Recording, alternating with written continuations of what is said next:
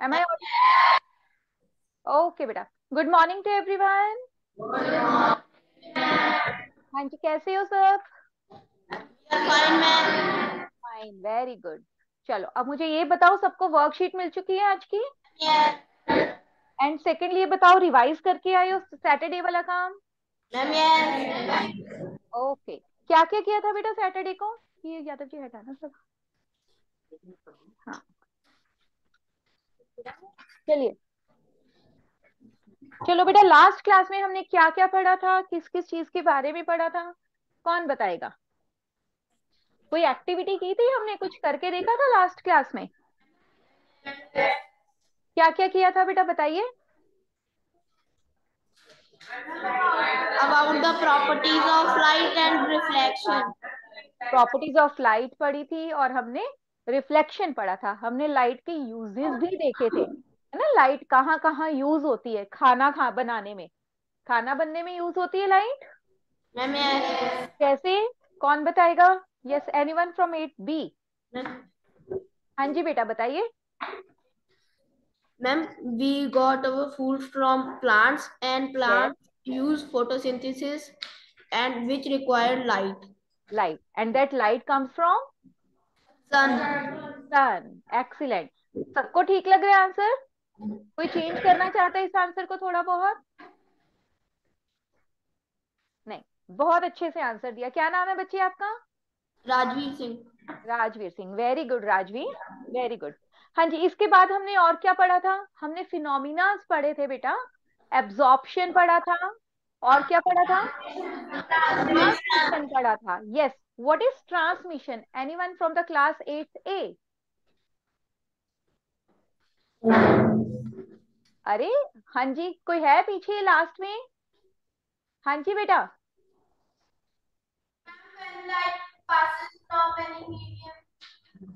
पास कर जाती है है ना? किसी भी मीडियम से जब लाइट पास कर जाती है, उसको हम क्या बोलते हैं? ट्रांसमिशन एब्जॉर्प्शन कब होती है when light absorbed by any medium absorb हो जाती है। Which colour absorbs the light the most black colour और which colour doesn't absorb any colour of light white very good शाबाश। पढ़कर आए हो ना सब अच्छा बेटा, हमने लास्ट क्लास में शेडो फॉर्मेशन की थी। हमने उस वक्त सिर्फ़ ये देखा था कि ओपेक ऑब्जेक्ट्स की शेडो बनती है। ओपेक ऑब्जेक्ट किसको बोलते हैं? कौन बताएगा? जिसके पीछे लाइट नहीं जिनके पीछे लाइट नहीं जा सकती है ना? जिसमें से लाइट पास नहीं कर सकती। वो ऑब्जेक्ट हो जाते हैं ओपेक अब मुझे बताओ क्या ये ऑब्जेक्ट क्या है? इज़ इट अ ओपेक अच्छा ये ऑब्जेक्ट क्या होगा? Transparent trans is it transparent और इन दोनों में से ट्रांसपेरेंट कौन होगा? चलो, ये बताओ। ये बीकर तो ये क्या है फिर? ट्रांसल्यूसेंट ठीक है बच्चे? हमने देखो, यही दो तीन चीज़ें हमारा आज का अंडरस्टैंडिंग में लर्निंग आउटकम्स में। फ़र्स्ट थिंग हमारी क्या है? यही है। हमने आज क्या अंडरस्टैंड करना है बेटा? हाँ जी क्या क्या पढ़ना है? ओपेक ट्रांसपेरेंट ठीक है? इन दो ऑब्जेक्ट्स के बारे में पढ़ना ट्रांसल्यूसेंट भी पढ़ेंगे with respect to transmission of light इन तीनों में से ट्रांसमिशन ऑफ़ लाइट कैसे होती है? अभी आप देखना मैं आपको एक एक्टिविटी दिखा रही हूँ। हम फिर से करेंगे शेडो फॉर्मेशन के लिए एक्टिविटी ठीक है? आप मुझे रिज़ल्ट खुद बताओगे। कि अब आपको ऑब्जेक्ट पता लग चुके हैं। This is a trans this is a translucent object this is the transparent transparent और अगर मैं इस कप की बात करूँ तो ये क्या है? ओपेक ओपेक अब हम तीनों को one by one one by one इनकी शेडो बनाएँगे और आप मुझे शेडो में डिफरेंस देखकर बताओगे कि तीनों के शेडो में डिफरेंस कहाँ पर आया। क्या तीनों ही शेडो बना रहे हैं? क्या ट्रांसपेरेंट भी शेडो बना सकते हैं? ये चीज़ आपने मुझे ऑब्ज़र्व करके बतानी है। एंड बी वेरी केयरफुल किसी से भी मैं पूछ सकती हूँ कि क्या देखा। ठीक है बच्चे? टीचर्स प्लीज़ आप ये देखना कि मैं इसके बाद क्वेश्चंस पूछूँ कि स्टूडेंट्स को आपने खड़ा करना है क्योंकि आप पढ़ाते हो बच्चों को ना तो आपको पता है कि किससे ज़्यादा जल्दी से पूछना चाहिए। किस बच्चे को ज़्यादा अंडरस्टैंडिंग की ज़रूरत थी और उसको समझ आई या नहीं आई ये चीज़। ठीक है ma'am? Thank you so much ma'am यहाँ पे लाइट ऑफ़ कर दो। मोबाइल।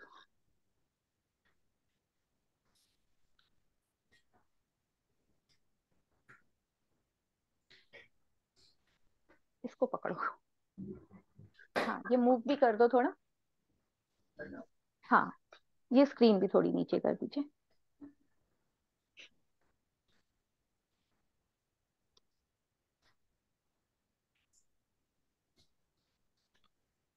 आगे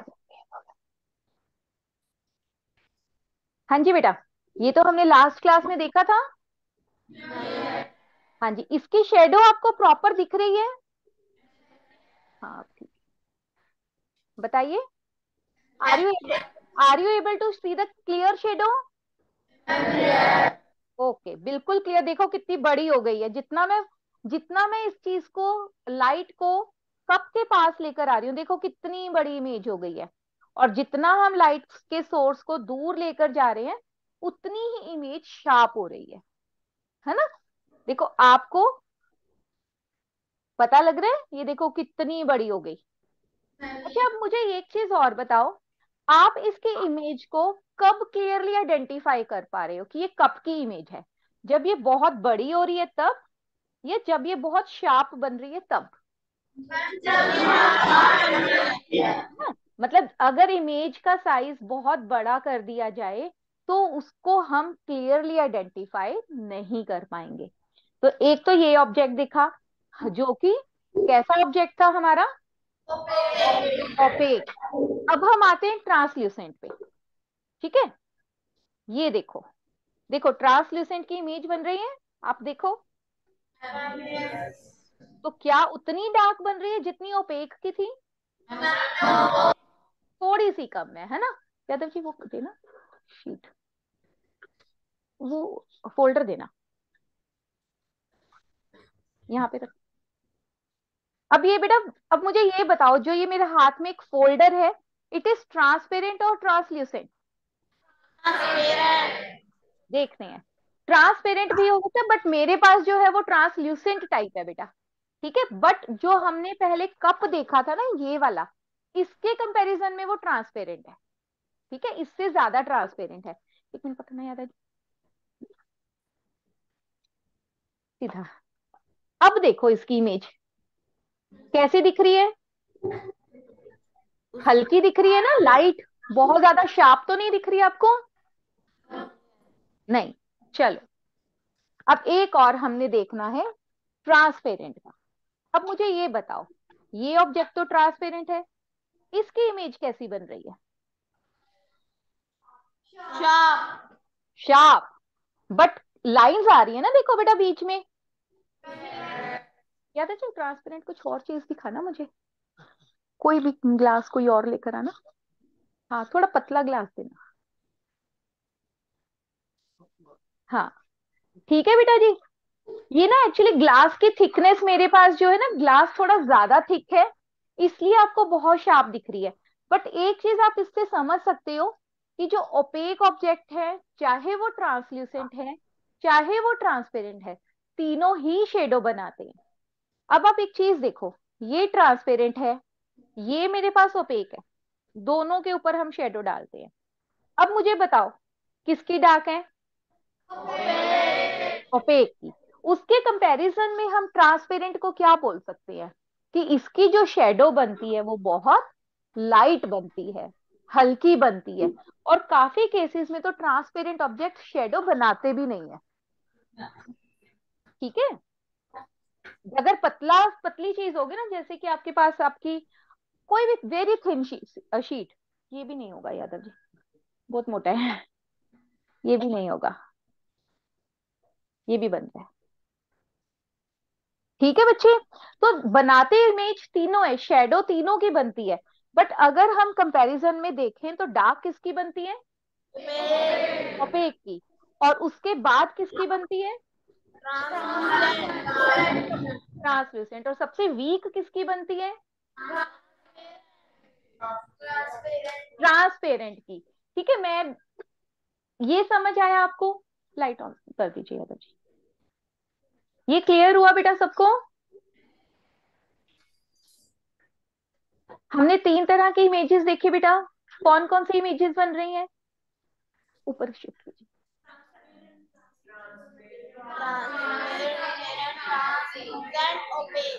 अच्छा मुझे ये बताओ कि हमने पढ़ना है ट्रांसमिशन ऑफ़ लाइट।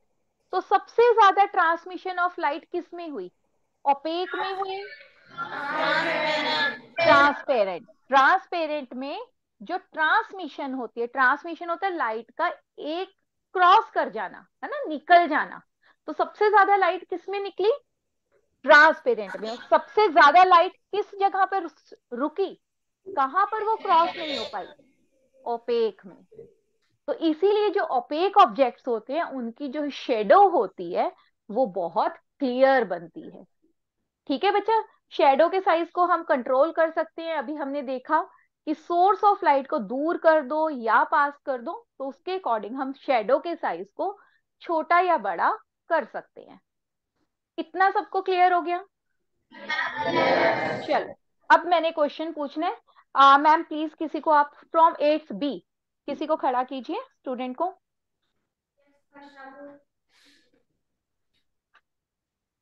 हाँ जी बेटा, अब आप मुझे ये बताओ, हमने कौन कौन से ऑब्जेक्ट्स के ऊपर एक्सपेरिमेंट किया था अभी? कैसे ऑब्जेक्ट्स थे वो?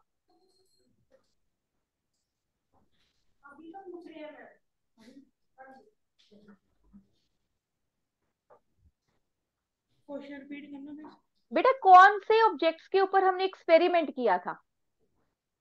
वो ट्रांसपेरेंट थे वो ट्रांसल्यूसेंट थे या सारे के सारे ओपेक थे? ट्रांसपेरेंट सारे ट्रांसपेरेंट थे बच्चा? अगर सारे ट्रांसपेरेंट नहीं थे तो वो क्या क्या थे? पेन भी था। क्या था? मुझे समझ नहीं आ रही बेटा। ओपेक। ओके और क्या था बच्चे? ट्रांसपेरेंट। ट्रांसपेरेंट था ओपेक था और क्या था? ट्रांसमिशन। ट्रांसमिशन नहीं था बेटा। ट्रांसमिशन तो एक प्रोसेस होता है लाइट का। ऑब्जेक्ट कैसा था एक और? मिलता जुलता ही है ट्रांस वर्ड आएगा उसके अंदर। हाँ जी, ये क्या बताया था मैंने? ये क्या चीज़ है? ट्रांसल्यूसेंट, शाबाश, वेरी गुड। तो तीन ऑब्जेक्ट्स किए। अब मुझे ये बताओ, सबसे डार्क इमेज किस केस में बनी थी? ओपेक केस में। अच्छा चलो बैठो बेटा आप। Yes ma'am any one from the class eight A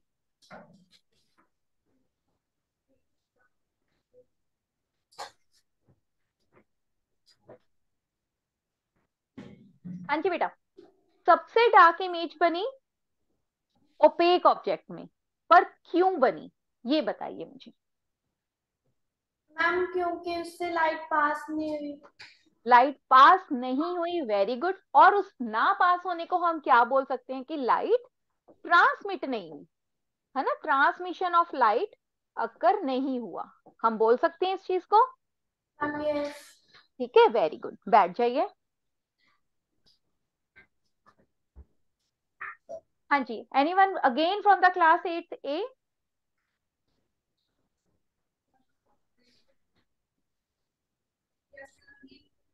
हाँ जी हाँ जी बेटा, जल्दी।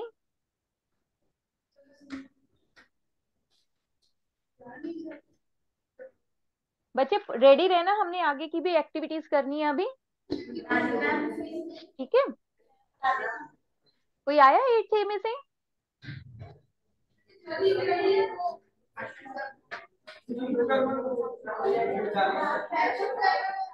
यस बच्चा fast very good come fast बेटा. वेरी गुड चलिए। अब मुझे ये बताइए बेटा ट्रांसपेरेंट और ट्रांसल्यूसिड में से किसकी इमेज ज़्यादा क्लियर बननी चाहिए?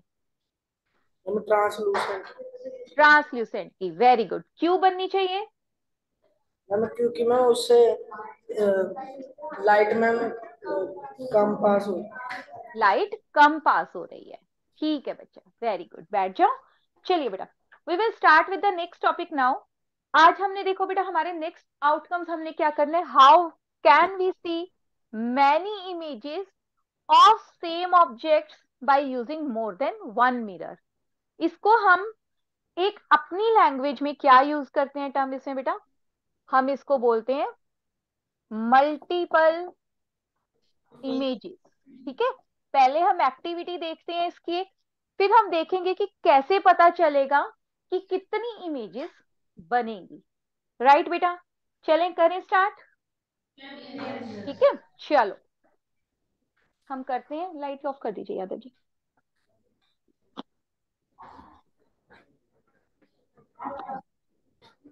आप मुझे बताना कितनी दिख रही है आपको, ठीक है? देखो।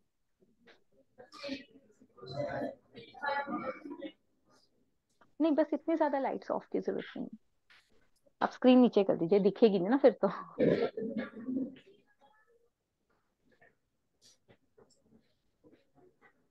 हाँ जी हाँ जी, बस। हाँ जी बेटा। ये जूम कर दो थोड़ा। यहाँ पे फोकस कर दो। इसको फोकस कर दीजिए थोड़ा सा। हम्म, और कर दो। चलिए बेटा देखो मल्टीपल इमेजेस के लिए सबसे पहले कंडीशन क्या होती है कि हमें दो मिरर्स चाहिए। मिनिमम दो चाहिए ज़्यादा भी हो सकते हैं बट हमें मिनिमम दो की ज़रूरत है। ठीक है अब मुझे आप ये बताओ एट प्रेजेंट आप यहाँ पर कितनी इमेजेस देख पा रहे हो इस पिन की? ठीक है? और क्या आप बता सकते हो ये दोनों जो मिरर्स हैं देखो मेरे पास दो मिरर हैं है ना?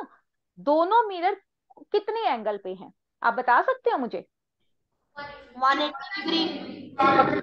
वेरी गुड और किस किस को पता है कि ये 180 पर है? देखो बेटा क्या होता है? एक स्ट्रेट लाइन पर जब एंगल बनते हैं उनका सम होता है वन ठीक है अब मेरे पास ऐसे दो मिरर हैं। एक मिरर वन एम वन और एक मिरर एम टू ठीक है बच्चा? अब आपने क्या देखा कि अगर दो मिरर 180 डिग्री पर हो तो आपको सिर्फ़ एक ही इमेज दिख पाएगी। ठीक है चाहे आप इस पिन को यहाँ लगाओ चाहे मैं कोई और आपको ऑब्जेक्ट रख के दिखा रही हूँ। इसकी कितनी इमेज दिख रही है बताओ? वन ही दिखेगी। अगर एंगल 180 डिग्री का है तो आप कितनी इमेजेस देख सकते हो? अब देखो अब मुझे ये बताओ ये मिरर अब आपको कितनी इमेजेस दिख रही है? अभी तो नहीं थ्री दिख रही। अब बताओ कितनी इमेजेस दिख रही है बेटा आपको? नहीं अभी थ्री वाला केस करते हैं। अब बताओ कितनी दिख रही है? और अब?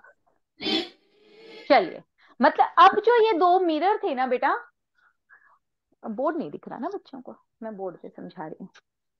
चलो, दो, तीन इमेजेस दिखी बेटा? अब ध्यान से देखना, अब मैं इस एंगल को 90 डिग्री से कम कर रही हूँ। देखो जरा ध्यान से। ये देखो, कितनी इमेजेस बन गई बेटा? फोर और कम करें? अब बताइए कितनी दिख रही है? अब बताओ। फाइव हो गई ना? ठीक है? तो देखो, मैंने एंगल 90 से कम किया क्या? नहीं किया? yes. अब ये देखो, मैं वापस 90 पे आ गई। अभी कितनी इमेजेस दिख रही हैं आपको? अरे थ्री दिख रही है। टू वाला कौन आ गया बीच में? कितनी इमेजेस दिख रही है? थ्री। चलो फिर से मैं दोबारा दिखा रही हूँ। देखो हम एंगल कम कर रहे हैं। 90 से कम कर रहे हैं। ये देखो अभी कितनी दिखी? फोर। अभी कितनी दिखी? फाइव। है ना? तो ये बच्चे जैसे जैसे एंगल कम होता जाता है नंबर ऑफ़ इमेजेस इंक्रीज होती जाती है। ठीक है? क्लियर हुआ? Any one wants to see it again अगर 90 से बड़ा कर दे एंगल तो क्या होगा? 90 पे तो आपको तीन दिख रही है। चलो अभी कितनी दिख रही है? टू टू मतलब टू भी दिख सकती हैं इमेजेस अब भी देखो अब कितनी दिख रही है? वन अभी कितनी दिख रही है? वन ठीक है बच्चे? तो मतलब अगर मैंने एंगल इंक्रीज कर दिया तो इमेजेस कम हो जाती हैं। और एंगल की वैल्यू अगर हम कम करते जाएँगे तो क्या होता जाएगा इमेजेस इंक्रीज होती जाएगी। देखो अभी चार दिख रही है ना कितनी क्लियरली अब हम देखते हैं बोर्ड के ऊपर कि ये फंडा क्या है ये क्यों ऐसे इमेजेस बन रही है। ठीक है बच्चे? क्या फॉर्मूला है? कैसे हम इन नंबर ऑफ़ इमेजेस को कैलकुलेट कर सकते हैं? क्योंकि आपको एग्ज़ाम में मिरर तो देंगे नहीं कि आप देखो कितने एंगल पे कितनी इमेजेस आ रही हैं। आपको कैलकुलेशन करनी पड़ेगी फॉर्मूला से। ठीक है बच्चे? मज़ा आया ये एक्टिविटी देखकर? अच्छा लगा, घर पे कोई भी दो प्लेन मिरर्स आपके पास होंगे ना, कहीं पे भी, घर पे एक शीशा है, कोई एक और छोटा मिरर ले लो, खुद करके भी देखना है। ठीक है बच्चे? कोई भी दो प्लेन मिरर आपको मिल ही जाएँगे, कोई भी ऑब्जेक्ट कोई कैंडल रखो, कुछ भी रखो, ठीक है, कुछ भी आप रख के इसको खुद से करके देखना एक बार। ठीक है? पूछूँगी मैं नेक्स्ट क्लास में किस किस ने की है। ठीक है बच्चे? अब देखो जरा, हमारा क्या कॉन्सेप्ट था? देखो, हमने क्या क्या केसेस देखे इसके अंदर? कि अगर दो ऑब्जेक्ट्स एक मिरर मेरा M1 है और एक मेरा मिरर M2 है। ठीक है बच्चा? इनको अगर हम 180 डिग्री पर रखें तो नंबर ऑफ़ इमेजेस कितनी बन रही थी? नंबर ऑफ़ इमेजेस कितनी आ रही थी बेटा? वन और अगर मैं इन दोनों को 90 डिग्री के एंगल पर रखूँ, दोनों मिरर्स को, ये मेरा M2 और ये मेरा M1 मिरर ठीक है, ये मिरर को हम ऐसे शो करते हैं ना लास्ट क्लास में समझाया था मैंने आपको, है ना? ये हमारे मिरर्स चलो इस केस में कितनी इमेजेस बनी थी बेटा जब 90 डिग्री पर थे? थ्री वेरी गुड थ्री और जब हमने 90 डिग्री से कम कर दिया एंगल ये पत, ये मुझे बताना जरा एंगल 90 डिग्री से कम है या ज़्यादा है? कम। कैसे पता चला ये 90 से कम है? Because 90 degree angle is straight वो स्ट्रेट होता है और इस साइड को बेंड हुए एंगल सब 90 से कम होते हैं।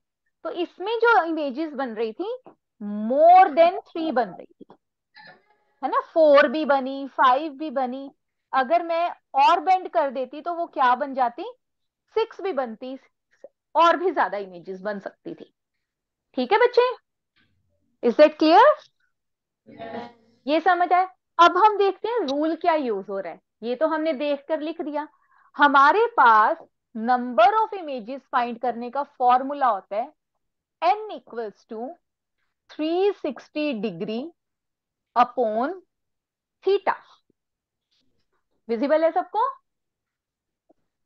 मैम अपॉन थीटा थीटा मतलब ये 180 डिग्री इस केस में थीटा है हमारा 180 इस केस में थीटा है 90 डिग्री इस केस में थीटा कुछ भी हो सकता है जैसे 30 डिग्री मान लो 60 डिग्री ले लो कुछ भी हो सकता है।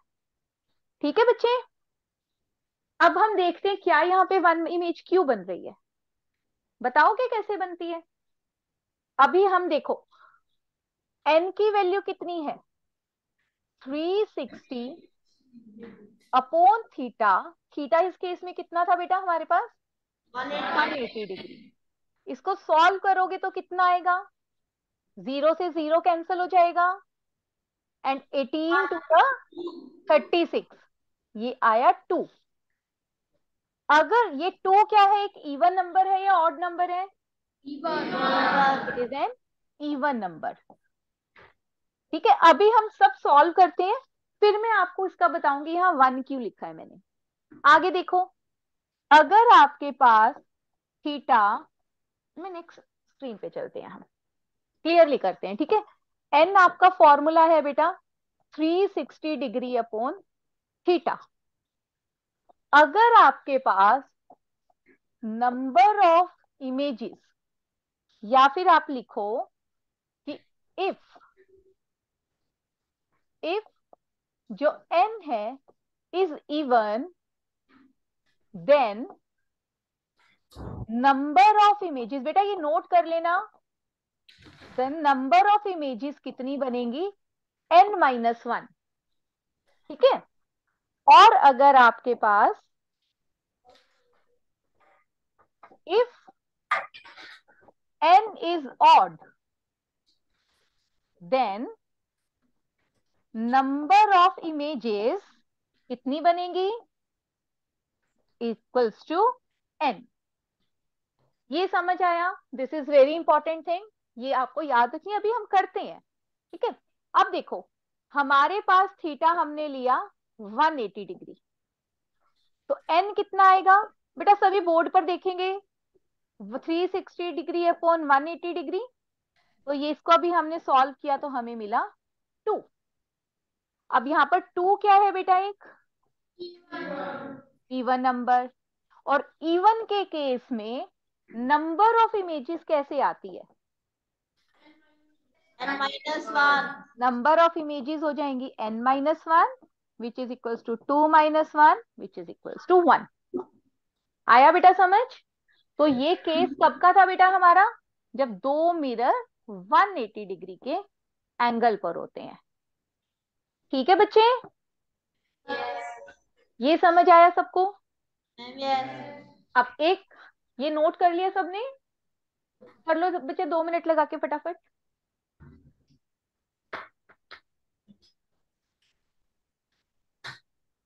पता जी मेरे को वर्कशीट का प्रिंट आउट नहीं मिल या फिर इसमें से कर लेंगे रैम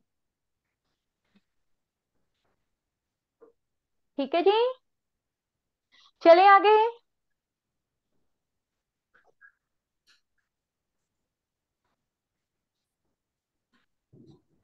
अब चलते हैं थीटा हमारा 90 डिग्री पे। ठीक है? करें स्टार्ट बेटा आगे।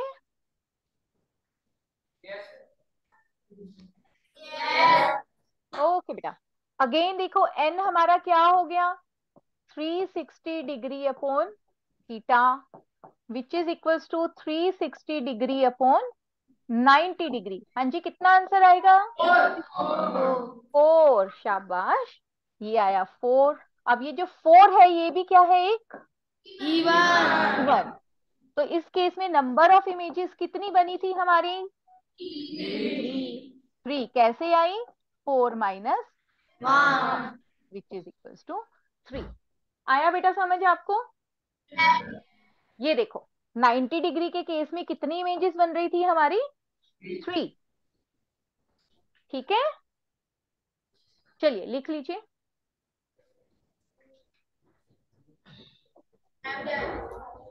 चलो ये हमारा फ़र्स्ट केस हो गया। ठीक है? ये हमारा सेकंड केस हुआ। अब हम थर्ड केस देखते हैं। ठीक है? थर्ड केस हम ले लेते हैं। क्या लें एंगल चलो बोलो। thirty degree thirty degree. चलो। थर्टी डिग्री पे सॉल्व करो। एन कितना आ गया? Three sixty upon thirty zero zero cancel three three two the एक मिनट, मैंने गलत कर दिया। एक मिनट रुको। हाँ जी, बोलो जरा। थ्री वन द थ्री आगे? हाँ जी। अगर थर्टी डिग्री पे होगा, देखो, अब ट्वेल्व क्या है आपका? इवन तो नंबर ऑफ़ इमेजेस कितनी आ जाएँगी? इलेवन ठीक है? ये समझ आ गया आप सबको?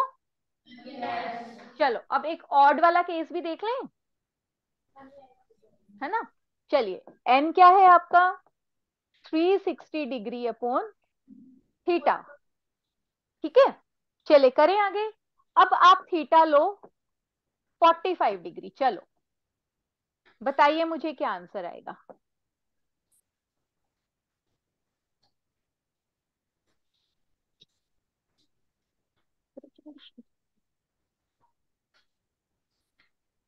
उठाना इसको कितना आया बेटा?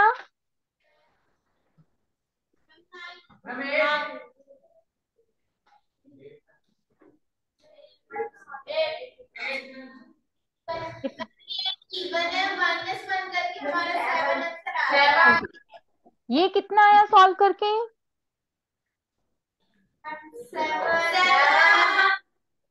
सेवन आया एट आया जल्दी बताओ।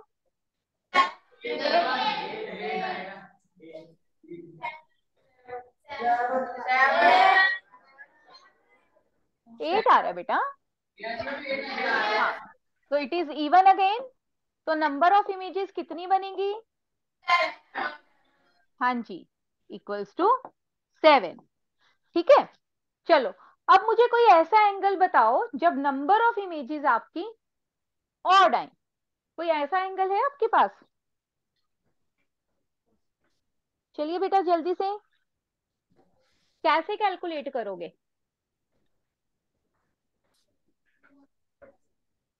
Ma'am sixty degree. Sixty degree. Sixty पे। सिक्सटी पे तो इवन आएगा बेटा। हाँ जी। Forty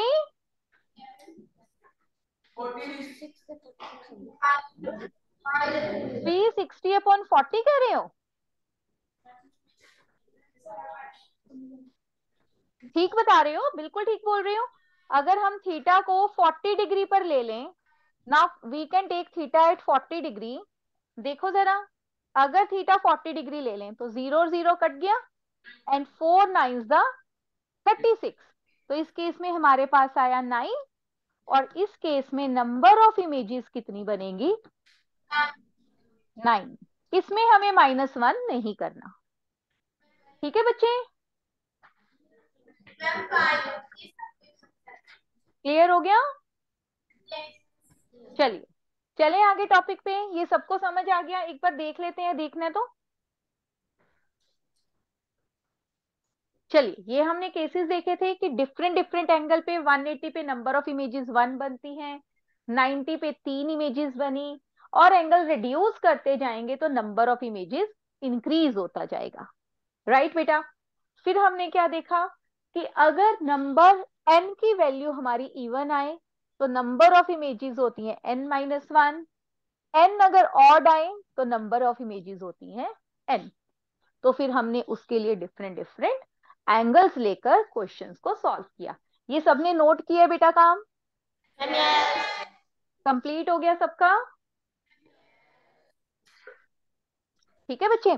चलिए, अब हम नेक्स्ट टॉपिक पर चलते हैं बेटा, हमारा प्लेन मिरर अब प्रॉपर्टीज़ ऑफ़ प्लेन मिरर तो बेटा आपने बहुत देखी होंगी, है ना? क्या क्या प्रॉपर्टीज़ होती है, मुझे कोई बताएगा? कि प्लेन मिरर की प्रॉपर्टीज़ क्या क्या होती हैं? Yes eight B ma'am please किसी को खड़ा कीजिए.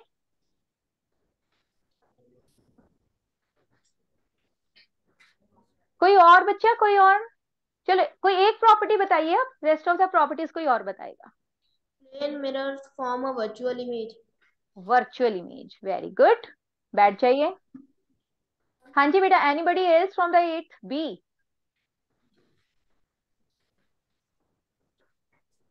Ma'am, image formed by a plane mirror is at the same distance as uh, as the object. Very good, शाबाश। ठीक है ये सब हमने करके देखना है अभी। आपने कभी करके देखा है इनको? या सिर्फ़ याद किया है। किया है? कहा ऑब्ज़र्व किया? क्लास में किया या घर पे ऑब्ज़र्व किया बस? Ma'am when we are standing in front of the plane plane mirror the image at the same distance image form is at the same distance आपने मेजर किया है कभी? मैम नो नहीं. आईडिया से है ना? चलो अभी हम देखेंगे ये सब ठीक है? और प्रॉपर्टीज़ बैठ जाइए बेटा. Anyone from the eight A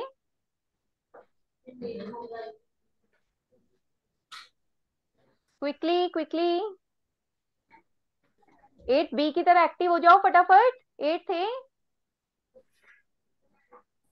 कोई भी नहीं. नहीं नहीं मैम प्लीज़ बेटा, कहिए किसी को आने के लिए.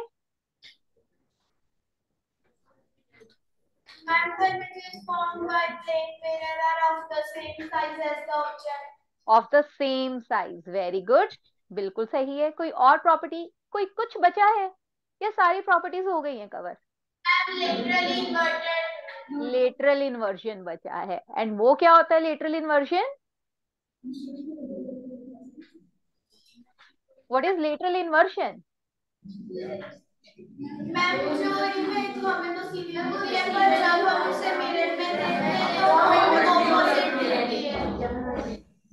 है जी, ठीक है। ठीक है उल्टा सीधा जब दिखता है लेफ़्ट राइट दिखे और राइट हमें लेफ़्ट दिखे। तो वो इमेजेस होती हैं लेटरली इन्वर्टेड ये भी हम करके देखेंगे कि ऐसा होता है। ठीक है मिरर में हम खड़ा हो जाएँ, फिर तो नहीं ऐसे लगता। लगता है ऐसे? चलो, अब हम देखते हैं मिरर की प्रॉपर्टीज़ ठीक है? फ़र्स्ट प्रॉपर्टी तो हम क्या डिस्कस करते हैं कि ऑब्जेक्ट मिरर से जितने डिस्टेंस पर है, पहले एक बार बोर्ड पे समझ लो बेटा थोड़ा सा कॉन्सेप्ट फिर हम आगे चलेंगे, ठीक है?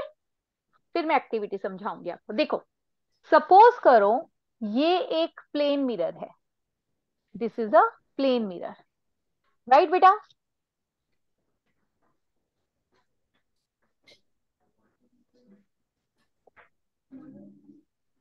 ठीक है, ये मेरे पास एक प्लेन मिरर है। ठीक है? ओके जी। अब यहाँ पर लेटर से कोई खड़ा है। ठीक है, यहाँ पर कोई पर्सन है। वो खड़ा है। ठीक है? ठीक है? अब इसकी जो इमेज है, वो कहाँ दिखेगी? मिरर के अंदर। और कितने डिस्टेंस पर दिखेगी? जितना डिस्टेंस लेटर से उसका यहाँ से डिस्टेंस लेटर से टेन सेंटीमीटर है। तो जो इमेज का जो डिस्टेंस आएगा वो कितना आएगा? तो वो ये वाला जो डिस्टेंस है ये भी कितना होगा? टेन सेंटीमीटर देखें जरा करके क्या ऐसा है? अच्छा एक चीज़ और कि जितनी इस ऑब्जेक्ट की हाइट है ये इसकी हाइट है लेटर से ये हाइट है उसकी ट्वेंटी सेंटीमीटर। मान ले? और जो इसकी हाइट है, वो दोनों कितनी है? सेम है। हम ये मान लेते हैं कि ये हाइट है ट्वेंटी सेंटीमीटर। ठीक है बच्चे? हमने ये मान लिया कि जो ये हाइट है, ये है ट्वेंटी सेंटीमीटर। तो इमेज की हाइट भी कितनी होनी चाहिए? Twenty centimetre. ये हमने समझ ली चीज़? और हमने क्या देखा? एक स्टूडेंट ने मुझे बोला था जो इमेज बनेगी मैम वो वर्चुअल होगी। ठीक है? अगर बेटा वो वर्चुअल है तो वो इरेक्ट भी होगी। इरेक्ट का क्या मतलब होता है? सीधी। सीधी। आप मिरर के सामने खड़े हो तो सीधा ही दिखता है ना आपको अपना। ऐसा नहीं है कि सिर नीचे दिखता और पैर ऊपर दिखते हैं। ऐसा दिखता है? कहाँ दिखता है? कैसे दिखता है फिर? सिर ऊपर है तो ऊपर ही दिखता है है ना? तो उसको हम बोलते हैं इरेक्ट राइट बेटा? तो वर्चुअल एंड इरेक्ट है सेम डिस्टेंस पर है ये हमारा मिरर है ये मेरा ऑब्जेक्ट है और ये ऑब्जेक्ट की इमेज है। कितना समझ आया बेटा? ठीक है? एक हमने समझना है बेटा यहाँ पर लेटरल इन्वर्शन अभी हम देखेंगे। लेटर इन्वर्शन करें? स्टार्ट करें? रेडी एवरीवन अब आप मुझे बताओगे। हाँ जी, नीचे कर दीजिए। अब आप ना मुझे खुद बताओगे कि आपको क्या दिख रहा है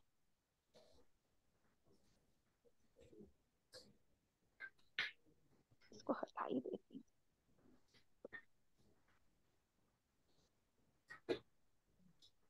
नहीं लाइट बंद कर हाँ जी जूम कर दीजिए इस पे। और कर दो।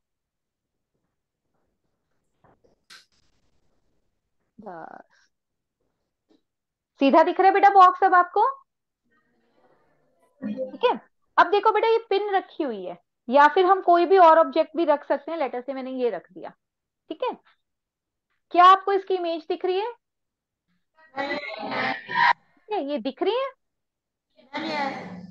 अच्छा एक चीज़ अब देखो, ये जो मैंने डिस्टेंस मार्क कर रखा है, कितना मार्क किया हुआ बेटा? ट्वेल्व सेंटीमीटर और आपको इमेज में दिख रहा है कितना आया हुआ है? ट्वेल्व सेंटीमीटर तो इसका मतलब क्या हुआ कि जितना डिस्टेंस ऑब्जेक्ट का मिरर से है है ना? उतना ही डिस्टेंस क्या है? मिरर से इमेज का है।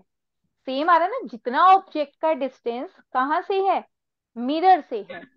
उतना ही distance the same is the distance from mirror to image दिख रही है बेटा आपको क्लियरली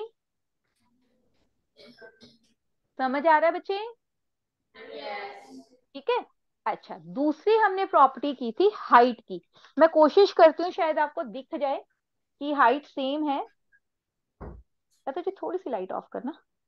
हल्की सी बंद करना मुझे बताना बेटा, दिख रही है कि नहीं? क्योंकि ना ये यहाँ पे देखिए।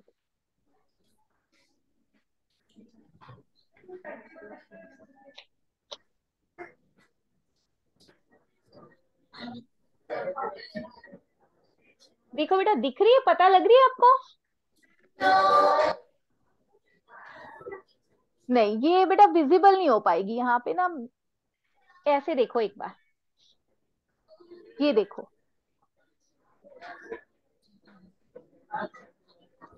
आई थिंक ये थोड़ा सा देखना मुश्किल हो रहा है ना, कि हाइट सेम है।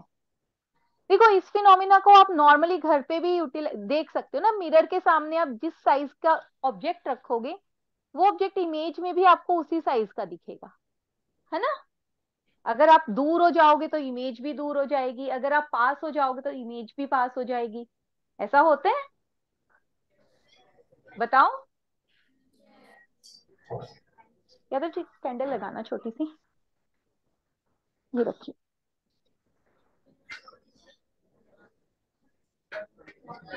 अच्छा अब हम देखते हैं कि क्या इमेज कैसी है? ये वर्चुअल क्यों है? वर्चुअल इमेजेस क्या होती हैं बेटा? व्हाट आर वर्चुअल इमेजेस नहीं जिन इमेजेस को हम स्क्रीन के ऊपर नहीं देख सकते।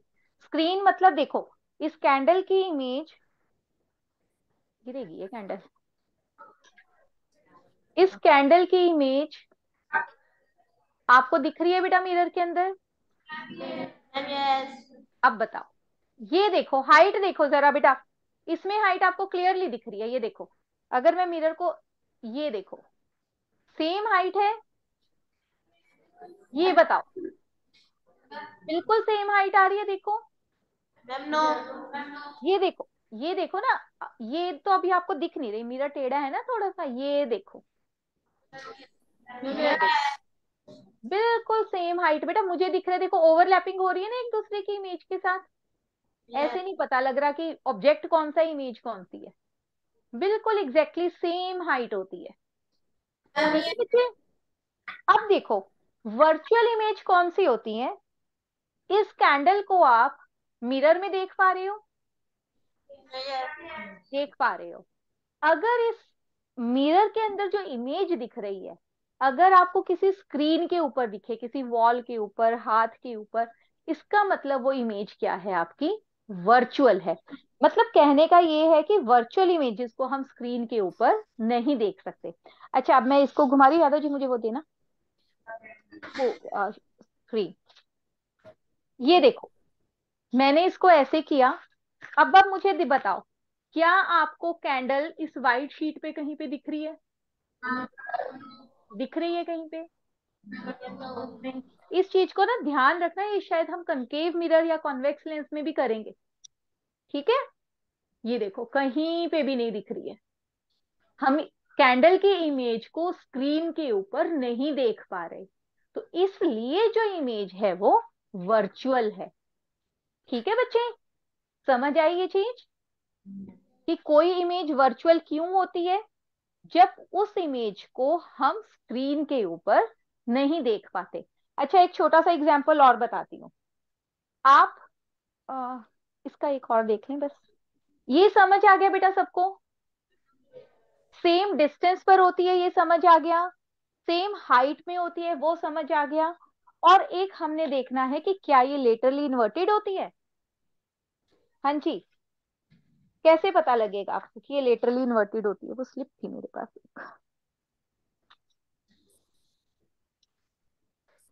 चलो। अच्छा मुझे ये बताओ क्या लिखा हुआ है? ये देखो। ये बताओ क्या लिखा हुआ है? बेस्ट उल्टा लिखा हुआ है कि सीधा लिखा हुआ है? अब मिरर के सामने करें इसको। सीधा। आपको कैसे दिखेगा? नहीं दिख रहा ना? एक मिनट रुको बेटा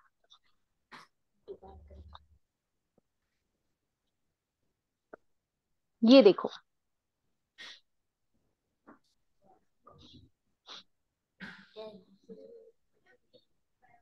ये देखो दिख रहा है मिरर के अंदर? कैसा दिख रहा है? सीधा है ना? इसी को बेटा हम लेटरल इन्वर्जन बोलते हैं। क्या बोलते हैं? हाँ। इसमें जो होता है लेफ़्ट राइट हो जाता है और राइट क्या हो जाता है? लेफ़्ट हो जाता है, ठीक है? तो क्या सभी लेटर्स लेटरली इन्वर्टेड होते हैं बेटा? बताओ। अगर आपने ए फॉर एप्पल लिखा तो उसकी इमेज कैसी दिखेगी आपको? सीधी दिखेगी। और अगर आपने ई लिखा तो क्या दिखेगी? कैसी दिखेगी इसकी? ऐसी दिखेगी, है ना? तो सभी अल्फाबेट्स बेटा लेटरली इन्वर्टेड नहीं होते हैं। बहुत सारे अल्फाबेट्स है, जैसे कि ए हो गया, कोई और बताएगा? और कौन सा अल्फ़ाबेट है? O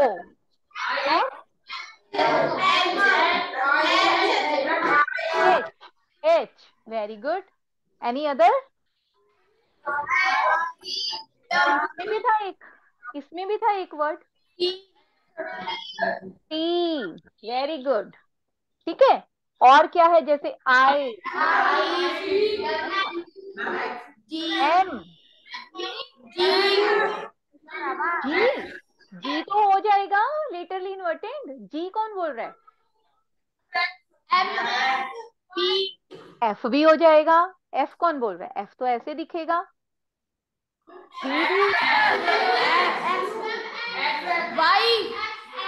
वाई भी नहीं होगा बेटा। अगर वाई देखो, ऐसे लिखा हुआ है। वाई के शेप पे डिपेंड करेगा, ये समझ लो करना। वाई के शेप पे डिपेंड करेगा ना बच्चे। वाई अगर ऐसे लिखा है तो ऐसे का ऐसा दिखेगा? वाई दो तीन तरीके से लिख देते हैं ना। बट अगर वाई ऐसे लिखा है तो थोड़ा सा ये हमें उल्टा होकर दिखेगा। कैसा दिखेगा फिर ये हमें? ये ऐसे दिखेगा फिर हमें। है ना? चलो मतलब क्लियर हो गया ये सबको? ये समझ आ गया सबको कि सभी अल्फाबेट्स लेटरली इन्वर्टेड नहीं होते। क्रॉस कर दो ठीक है बच्चे? चलिए ये सारी प्रॉपर्टीज़ क्लियर इमेजेस जो होती हैं वो वर्चुअल होती हैं। ये आपको समझ आ गया बेटा? से यस और नो ओके सेकंड मुझे बताइए, और क्या देखा अभी हमने? जो इमेजेस होती हैं, वो कैसी होती हैं? इरेक्ट होती हैं। वेरी गुड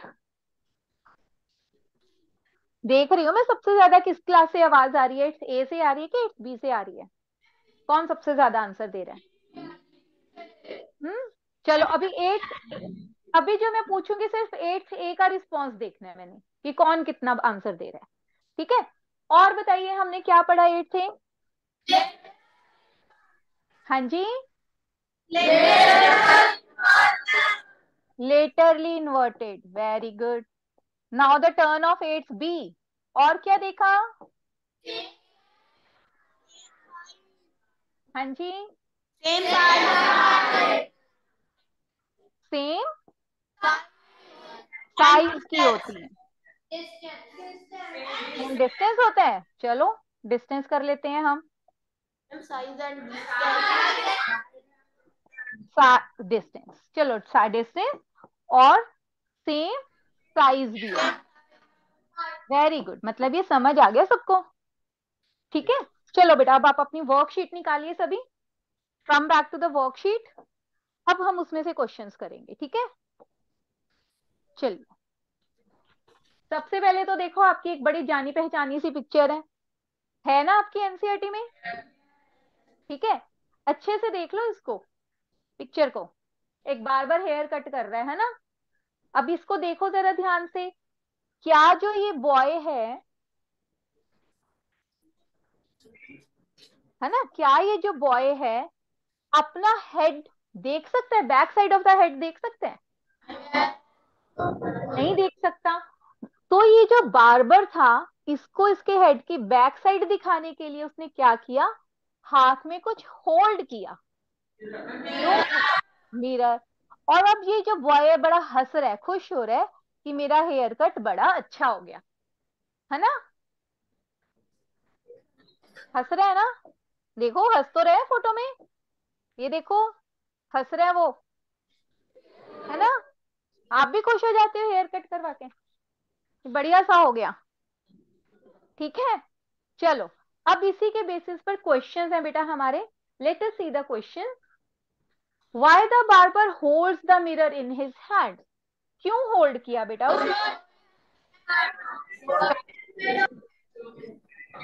आंसर सबने लिखना बेटा शीट पे। मुझे कौन बताएगा? एट बी में से। वो जो लास्ट में बच्चा बैठा है बिल्कुल लास्ट में नोटिस बोर्ड के नीचे। हाँ जी आ जाओ आ जाओ आ जाओ फटाफट भाग के।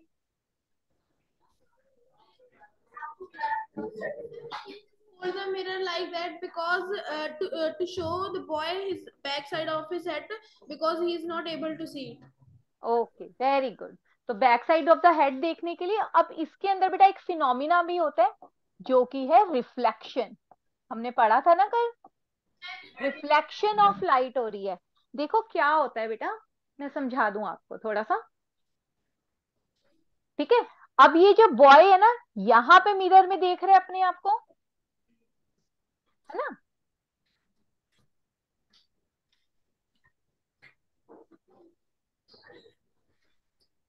देखो, अब ये बॉय क्या कर रहा है अपने आप को?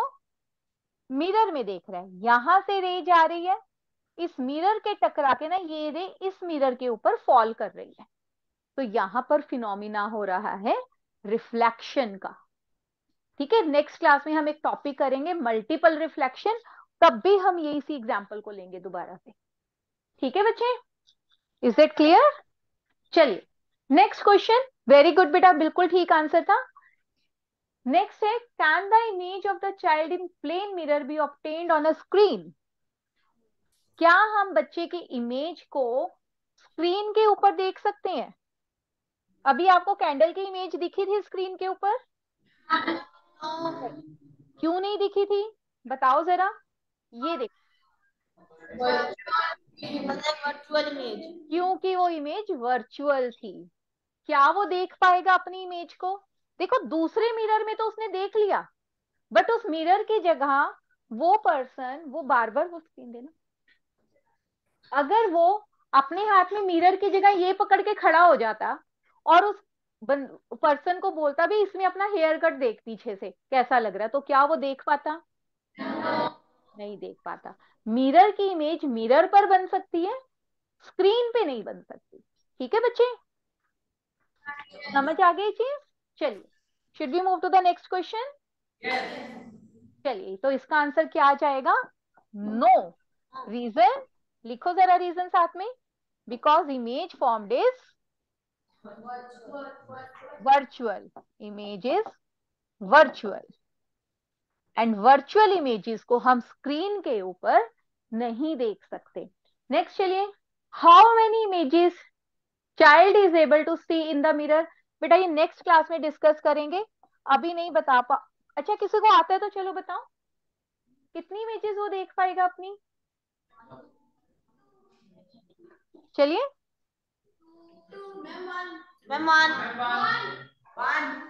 चलो फिर तो इसको नेक्स्ट क्लास के लिए रखो बेटा क्वेश्चन को। हम इसको नेक्स्ट क्लास में डिस्कस करेंगे। आंसर लिख लीजिए इसका।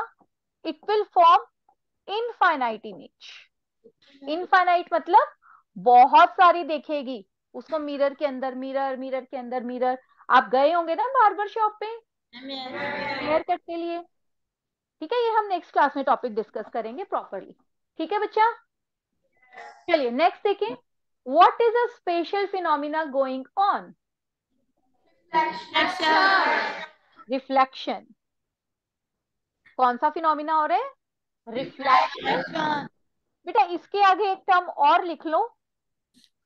मल्टीपल रिफ्लेक्शन बहुत बार होगी ये रिफ्लेक्शन ठीक है? और यही टॉपिक हम नेक्स्ट टाइम करेंगे। ठीक है बच्चे?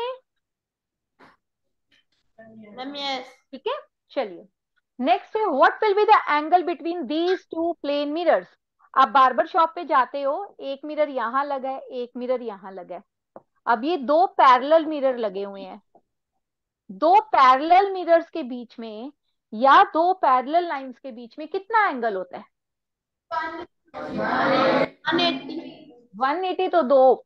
इस तरीके से जो लाइंस होती हैं उनमें होता है। है ना? ये होता है 180 बट इस लाइन दोनों लाइंस को मैंने ऐसे ही कर दिया। अब कितना एंगल होगा? These are two parallel line दो पैरेलल लाइंस में एंगल कितना होता है बेटा? ज़ीरो डिग्री ठीक है? 90 तो ये हुआ ना जब परपेंडिकुलर हुआ। ठीक है बेटा? मैथ्स की ना ये तीन चीज़ें आप बहुत ध्यान रखना। ये तीनों कॉन्सेप्ट बहुत यूज़ होते हैं। पैरेलल लाइंस नाइन्थ में जब आओगे ना बहुत यूज़ होगा इस फिनोमिना का। इन तीनों के बेसिस पर आपका पूरा एक चैप्टर टिका हुआ है वर्क नाइन्थ क्लास का वर्क एंड एनर्जी ठीक है, यहाँ, वहाँ पे तीनों फिनोमिना यूज़ होते हैं। तो चीज़ों को सिर्फ़ इतना मत सोचकर पढ़ो कि एट्थ करिए और एट्थ में खत्म। इतना नहीं है। ठीक है, चीज़ों को दिमाग में रखो ताकि आपको करने में आसानी हो। ठीक है बच्चे?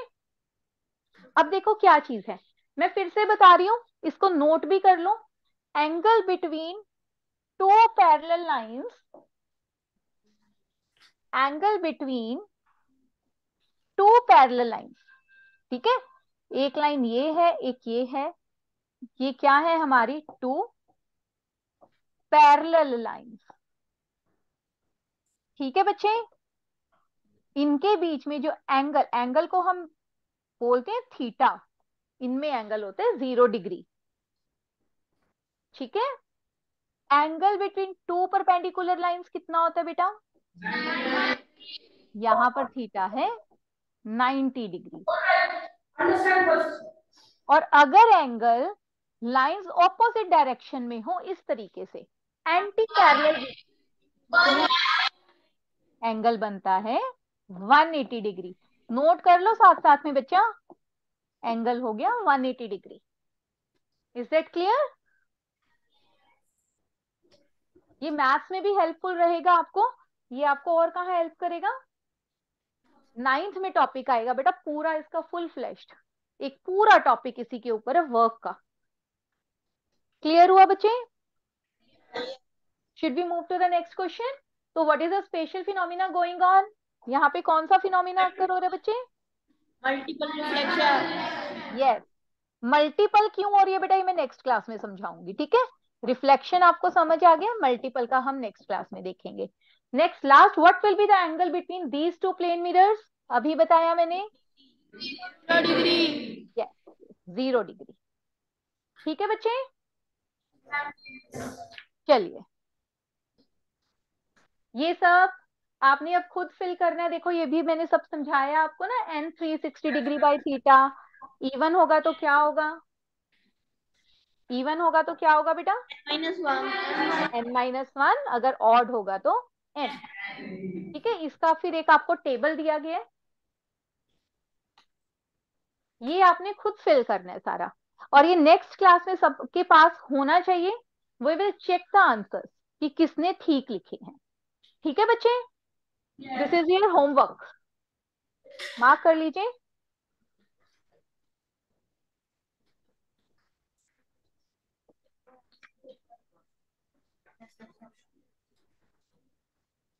ठीक है, ये आपका होमवर्क नेक्स्ट क्वेश्चन देखिए बेटा। The distance between the object and the image formed by a plane mirror is 42 centimetre अब ध्यान से देखना इस क्वेश्चन को। देखो क्या कह रहा है, ये आपका प्लेन मिरर है दिस इज़ द मिरर यहाँ पर आपका कोई ऑब्जेक्ट रखा हुआ है, ठीक है? ठीक है? और उसकी इमेज यहाँ पे कहीं बन रही है, ठीक है बेटा? थोड़ा सा दूर कर लेते हैं, यहाँ कहीं बन रही है, ठीक है?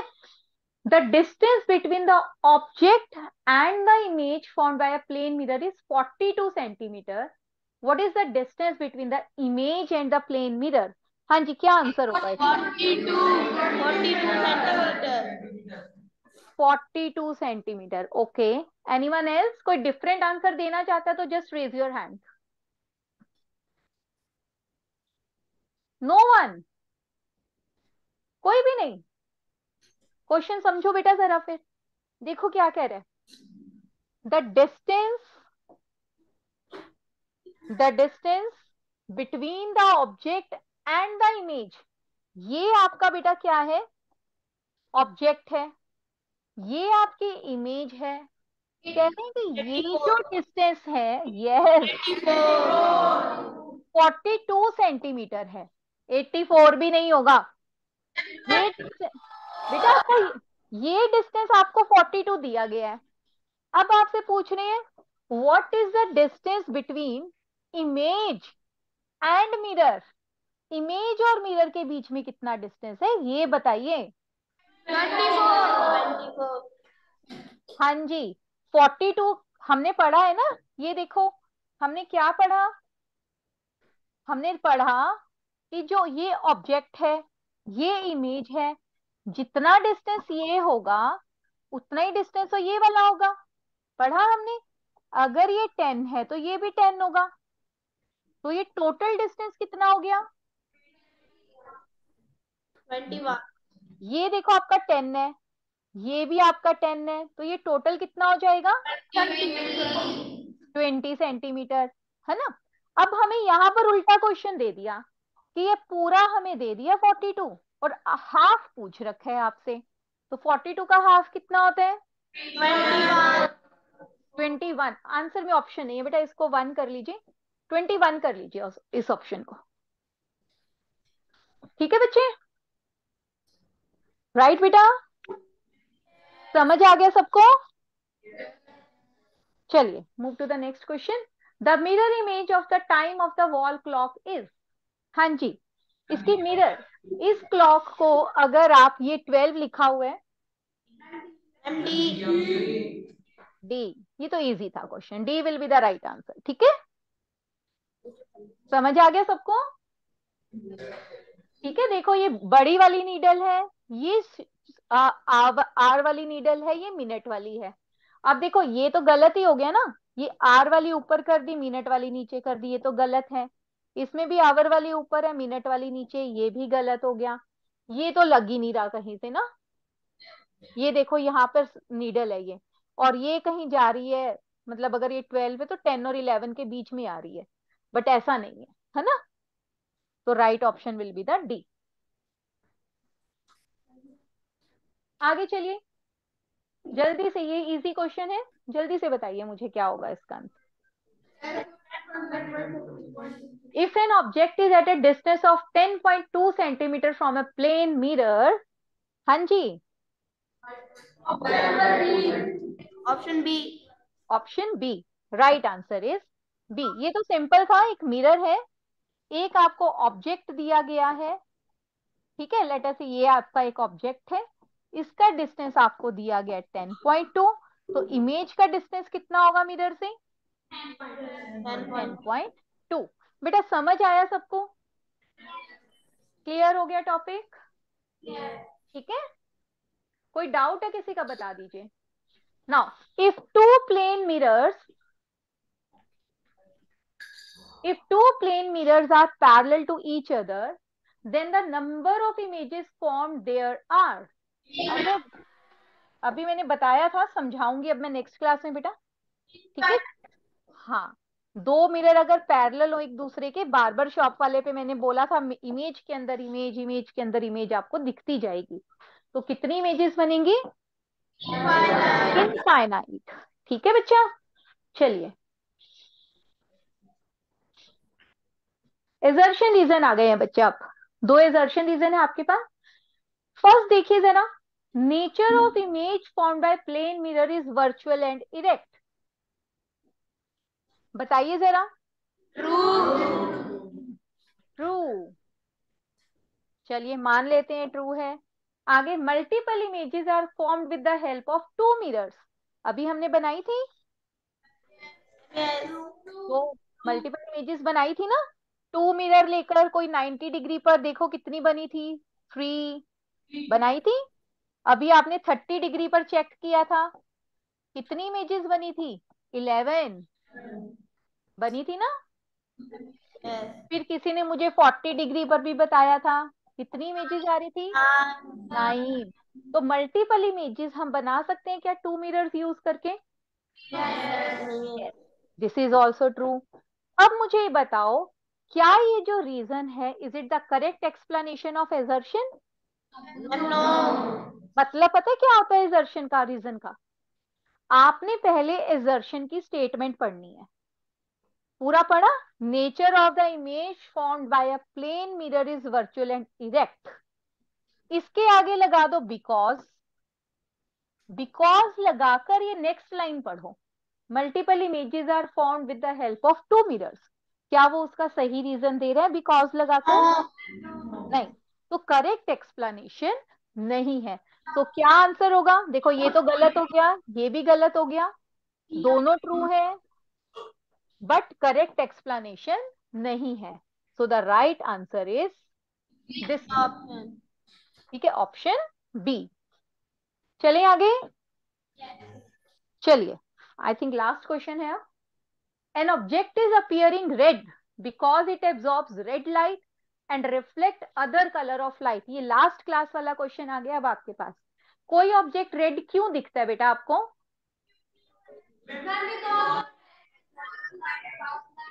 हाँ जी।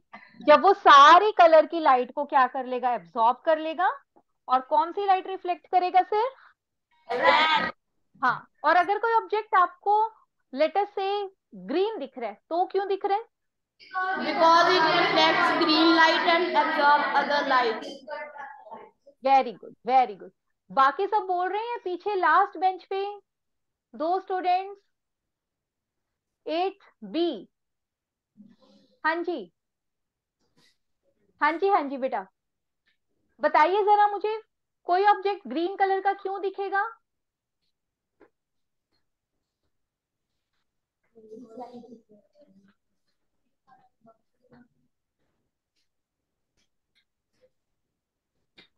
बताइए बताइए।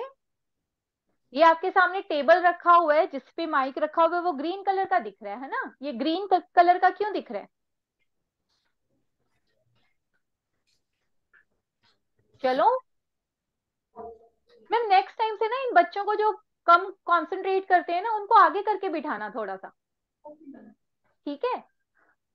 थोड़ा सा आगे बिठाकर बिठाना इनको थोड़ा ध्यान रखेंगे इसीलिए। मैम इनको ना आप एक काम करेंगे प्लीज़ आप साइंस की टीचर हो ना मैम हाँ इनको थोड़ा सा ना ह्यूमन आई का टॉपिक एक बार रिवाइज करवा के रखिएगा। ठीक है। मैम हाँ जी thank you so much ma'am हाँ जी बेटा, चलो, अब आप बताओ आपके सामने जो टेबल है वो ग्रीन क्यों दिख रहा है?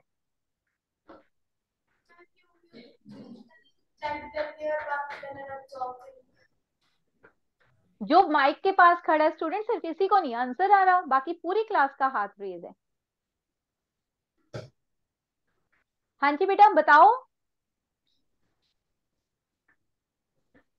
कोई मैम किसी और को बोलिए जरा एक बार।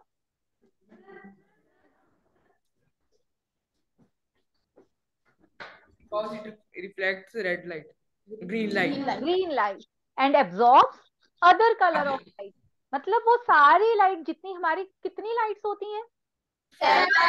सेवन कलर ऑफ़ लाइट उसमें से सारे तो एब्जॉर्ब हो जाएँगी। सिर्फ़ ये जो टेबल है बेटा आपके सामने ये ग्रीन को रिफ्लेक्ट कर पा रहा है। इसलिए आपको ये ग्रीन कलर का दिख रहा है। ठीक है बच्चे? ध्यान से पढ़ा करो। चलो जाओ अपनी सीट पे बच्चे वापस अब चलिए। अब मुझे रीजन देखिए. Visible light is a band of seven colour क्या ये ठीक है स्टेटमेंट यस सेवन कलर्स ठीक है? कौन कौन से विबग्योर ठीक है? इस कॉम्बिनेशन को हम क्या बोलते हैं? विबग्योर के कॉम्बिनेशन को? White white light white light ये सब जब कलर मिल जाते हैं तो इनको हम बोलते हैं व्हाइट लाइट ठीक है? जैसे कि अब ये स्क्रीन जहाँ पे व्हाइट दिख रही है आपको सारी जो भी चीज़ें व्हाइट दिख रही है इट मींस वो सब क्या कर रही है? सारे कलर्स रिफ्लेक्ट कर रिफ्लेक्ट हो। रहे हैं। वेरी गुड कुछ भी एब्जॉर्ब नहीं करती है ना? तो मुझे बताओ ये रीजन ठीक है? एजर्शन भी ठीक है? तो बिकॉज़ लगाओ इसके आगे। अब बताइए मुझे क्या रीजन करेक्ट आ रहा है? नहीं आ रहा इसका भी नहीं आ रहा ना। An object is appearing red because it absorbs red light and reflect the other colour of light because visible light is a band of seven colour ये तो कोई सेंस नहीं बनी ना। है ना? इंडिविजुअली दोनों ट्रू है एजर्शन भी ट्रू है रीजन भी ट्रू है बट करेक्ट एक्सप्लेनेशन नहीं है। Again the right answer will be B very good ठीक है बच्चा? कोई किसी को डाउट कुछ कुछ कोई क्वेश्चन पूछना हो बेटा? सब क्लियर देखो। ये समझ आया सबको? मैम हाँ जी बेटा बताइए। रीजन का मैम assertion false आएगा। किसका बच्चे? लास्ट रीजन का। एक minute let me check again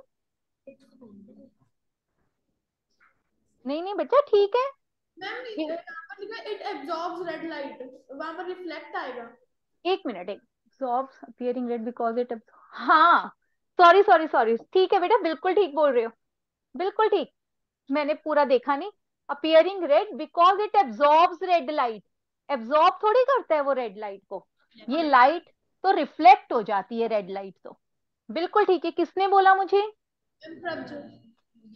ये very good clap for him बेटा every one clap for him very good शाबाश ठीक है?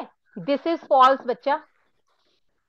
An object is appearing red because it absorbs red light नहीं एब्जॉर्ब नहीं करता, ये क्या करता है?